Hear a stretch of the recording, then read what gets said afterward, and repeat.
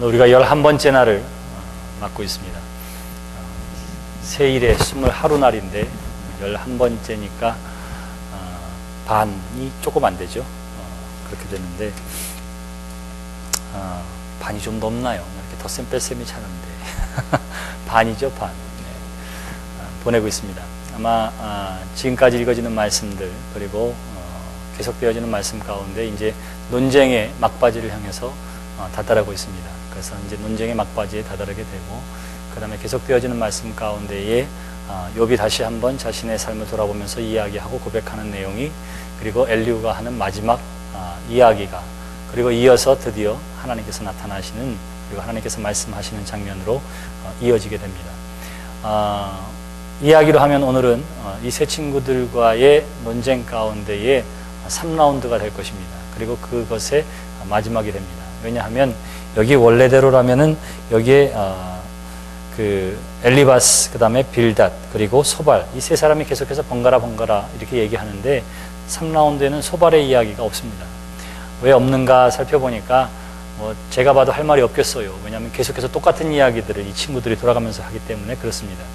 그러니까 하나님에 대한 지혜와 지식과 그리고 믿음의 바탕이 짧으니까 할 말이 별로 없을 것이다 이런 생각이 듭니다. 그러니까 처음에는 뭐 장황하게 설명했지만 그 다음에 또 같은 진리를 이야기하면은 진리 가운데 있는 사람들은 더 많은 이야기들을 할 수 있을 터인데 점점 점점 바닥이 드러나고 있어서 결국은 소발은 여기에 이야기도 나오지 않고 심지어 빌닷의 경우에도 불과 6절밖에 아, 이야기를 못하는 이유가 아, 바로 거기에 있을 것입니다. 그래서 이제는 이 세 친구들이 하나님에 대해서 믿음에 대해서 권면하고 가르치는 것에 대한 자신들의 지식이 바닥이 나게 되고 계속되어지는 욥의 대답 속에서는 오히려 욥이 하나님에 대한 지혜와 지식이 더욱더 풍요로운 사람이었다고 하는 것을 계속되어지는 이야기를 통해서 우리에게 어, 드러내고 있습니다. 여하튼지 간에 이 세 친구의 어, 논리의 한계성을 드러내고 있는 것이지요. 자, 수아 사람 빌다시 하는 마지막 말은 이것입니다. 하나님은 주권과 위엄을 가지셨고 높은 곳에서 화평을 베푸시느니라. 계속되어지는 말을 보시겠습니다. 그의 군대를 어찌 계수할 수 있으랴? 그가 비추는 광명을 받지 않은 자가 누구냐? 그런즉 하나님 앞에서 사람이 어찌 의롭다 하며 여자에게서 난 자가 어찌 깨끗하다 하랴? 하나님의 이 주권과 비교해 봤을 때에 하나님은 온 우주를 다스리시고 만드신 분이신데 그 하나님 앞에서의 우리의 인간을 비교해 보라. 그 하나님 앞에서 우리가 뭐라고 말할 수 있는 존재이겠는가? 이렇게 이야기하는 거예요. 그러면서 인간이 어찌 감히 하나님 앞에 의롭다고 말할 수 있겠으며 인간이 어찌 그 하나님이 하시는 일에 대해서 왈가불가할 수 있겠느냐? 욥을 향해서 그러니 너는 그 하나님 앞에 잠잠하라. 이렇게 이야기를 하고 있는 거예요. 그러면서 심지어는 뭐라고 이야기하느냐면 이렇게 이야기합니다. 보라 그의 눈에는 달이라도 빛을 발하지 못하고 별도 빛나지 못하거든 하물며 구더기 같은 사람 벌레 같은 인생이랴. 이렇게 이야기하는 거예요. 하나님의 눈빛 앞에서는 달과 별들도 아무것도 아닌데 하물며 인간이 그 앞에서 뭐가 되겠느냐? 그러면서 비유하기를 구더기 같고 벌레 같은 인생이 우리의 인생이라 이렇게 이야기를 하고 있는 거예요. 그러니까 온 우주 만물을 지으신 하나님과 그 하나님의 피조물 가운데 구더기 같고 벌레 같은 별 볼 일 없는 우리의 인생을 지금 수아 사람 빌다시 비교하면서 그 전능하신 하나님이 행하시는 일에 대해서 벌레 같은 인생이 뭐 하나님 왜 이렇게 하세요 저렇게 하세요 말할 수 있는 존재가 아니라 이렇게 이야기를 하고 있는 것입니다. 계속되어지는 말씀 엘리바스도 그렇고 어, 소발도 그렇고 빌닷도 그렇고 하나님이 위대하시다고 하는 것 전능하시다고 하는 것에서는 변함이 없어요.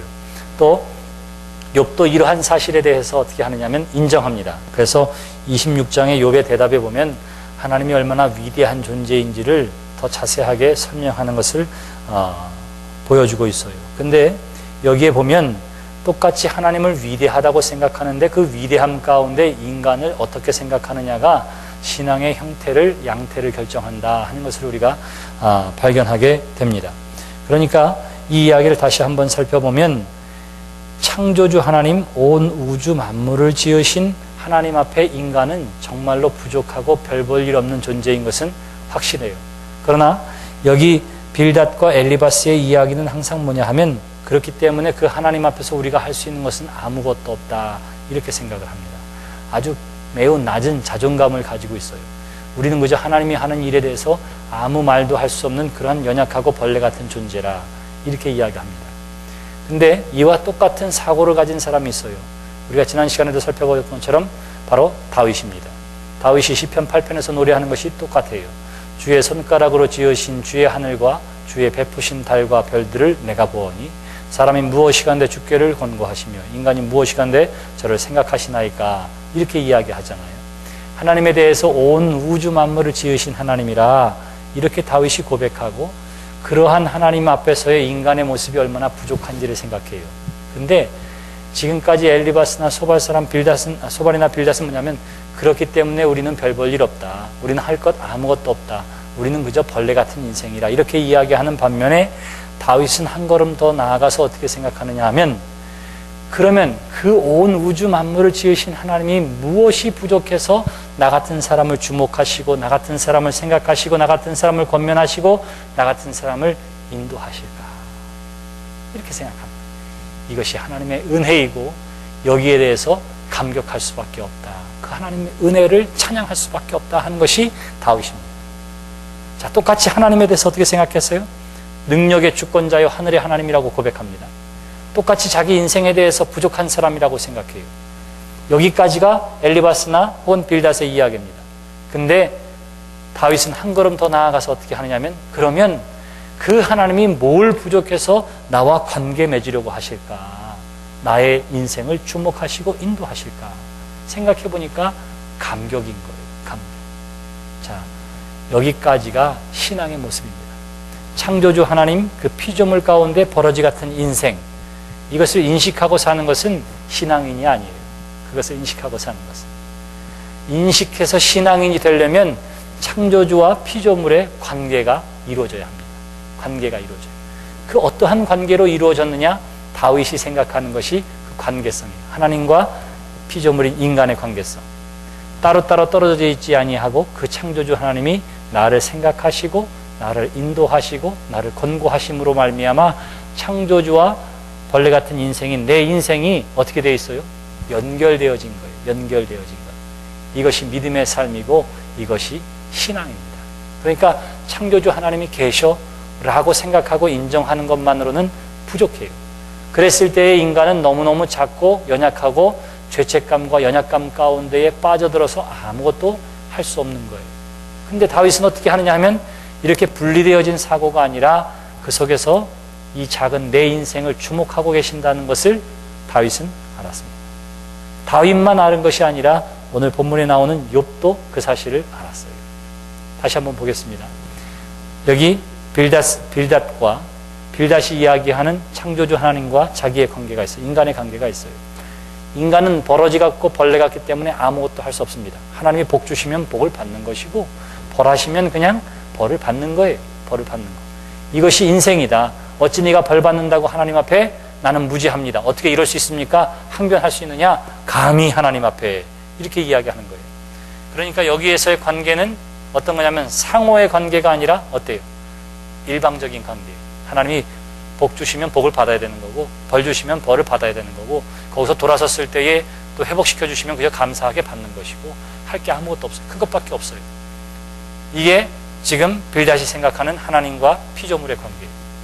자, 여기 다윗의 관계가 있습니다. 창조주 하나님이 계시고 다윗이 있어요. 여기서는 어떤 관계냐 하면 어떤 관계예요? 하나님께서 어떻게 한다고요? 일방적으로 복 주시고 벌 주시는 관계가 아니라 하나님께서 우리를 생각하세요. 하나님께서 우리를 인도하세요. 하나님께서 우리를 책임져 주시고 우리를 사랑해 주시고 우리에게 찾아오셔요. 거기에 대한 인간의 반응이 있습니다. 다윗의 반응은 뭐지요? 그로 인하여 하나님 앞에 경배하고 하나님 앞에 예배하고 하나님 앞에 찬양하는 것. 이게 뭐냐 하면 온전한 관계입니다. 상호 보완적이죠. 하나님은 내려오시고 인간은 올라가고 그리고 만나는 관계가 있는 거예요. 부부도 마찬가지예요. 건강한 부부는 어떻게 해석할 수 있느냐 하면 남편이 시키는 대로 순종하고 혹은 아내가 해달라는 대로 다 해주고 이것만이 꼭 건강한 것은 아니에요. 뭐냐면 내가 이야기할 수 있고 나눌 수 있어야 상호 관계는 어떻게 하느냐 하면 상호 보완적이고 교통이 이루어져야 이것이 건강한 관계입니다. 종과 노예의 관계가 될 수 없는 이유가 바로 거기에 있어요. 그것이 건강한 관계입니다. 건강한 관계. 건강한 신앙의, 신앙인의 기도는 어디에 있느냐 하면 하나님이 일방적으로 이야기하는 것을 들으려고 귀만 기울이고 있지 않아요. 혹은 기도할 때 내가 하나님 앞에 일방적으로 따지듯이 이야기하고 말하고 요구하는 것에서 끝나지 않습니다.